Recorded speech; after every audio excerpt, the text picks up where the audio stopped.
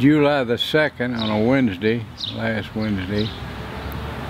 And uh, they flew us from uh, Midway Airport up to Washington, D.C. And uh, they had a lot of volunteers to take care of us. The people were very efficient. And uh, the whole trip was very efficient, well organized.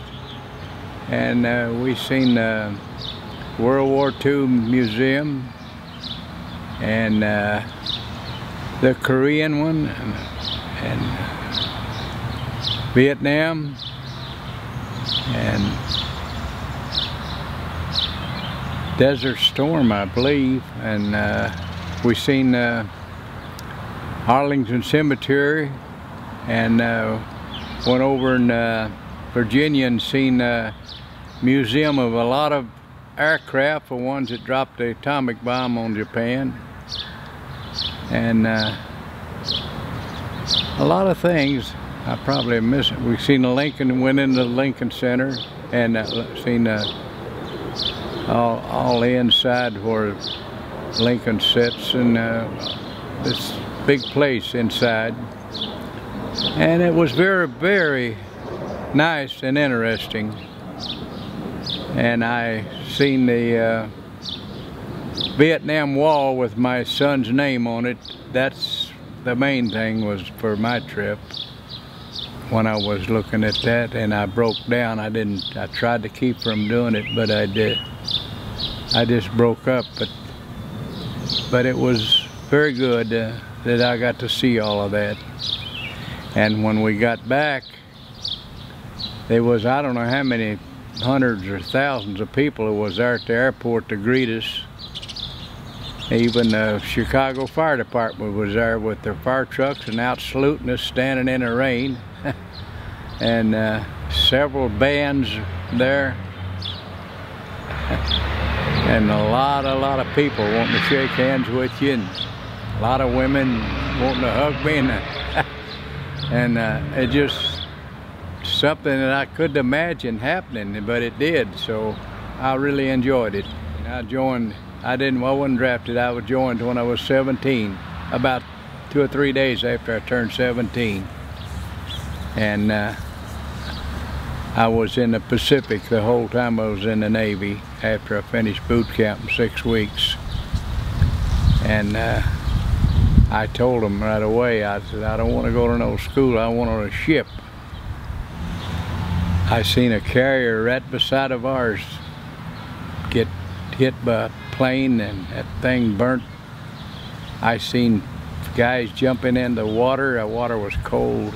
Some of them are destroyer pulled up alongside of that burning ship and some of them were managed to get on the, from one ship to another walking out on a boom and then jumping on the board but I heard later that they 700 got saved and 400 died I think there's 1100 on them carriers like I was on and uh, but we were lucky we uh, got shot at and torpedoed at and, and the planes dived at us and missed us. Went in the water from right straight overhead and we and I just turned out to be lucky. And uh, I guess that's what it takes. My son was killed in Vietnam. And they said that was a war to end all wars when I joined. But we've been in a war ever since that. Ever since World War II, we've been in wars ever since. We don't seem to be able to stay out of wars. We got to stop this getting in wars that we don't belong in. Them people over there in the Middle East, they want to fight one another. Well, let them fight one another. Eh, there's nothing we can do to stop it. And we're not going to change our way of thinking or nothing. So we get guys killed for nothing. Vietnam was for nothing. One of the soldiers that was on patrol in Vietnam was griping because he had to carry the grenade launcher all the time. And my son told him, I'll carry that thing. You take the rifle I got and you, and they got permission to switch.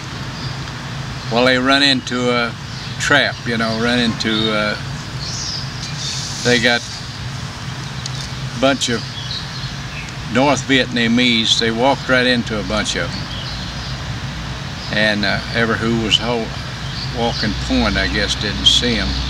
Well, who did they shoot first? The guy that's carrying the grenade, launcher. Because he could launch a grenade in there and killed several of them. So they always went for the heavy stuff first. So that's how my son got killed. If he would have not volunteered to carry this grenade launcher, stuck with his rifle, he probably believe he wouldn't got killed. But well, but you can't never tell. That's just the way it happened. I don't know how you'd ever get any worse news than that. because when your son gets killed in a war, that you know, he even wrote a letter back and said this is a waste of time over here. But said, you know, he's got to put in his year and then come home. So, uh, I don't know if you could say he gave his life for his country or the country took his life. That's the way I look at it. But he did follow all orders and uh, didn't try to get out of it or anything like that. He was my he was my only son, and when he died, my my last name will die with it because I got two brothers that didn't have any sons. So uh, the Whitaker name in, in, in my generation will, will die off. So My wife has got a book in there. I don't I don't recall just who gave it to her. It's way thicker than a phone book and the names are in there real small and it shows every name that was of a person, people that was killed in Vietnam. Our guys, soldiers, sailors, and everything. And it just blows you away to see how big this book is and how many, and all those names in it. And that, that was a total loss for nothing. And it's, it just seems unreal. I, I don't understand it, but I don't understand why that's got to be. But uh, evidently, who's running the country up there in Washington D.C. D.C. That's that's what they think. But I think if they had sons that had to go into them stupid wars, they I think we'd stay out a lot of them.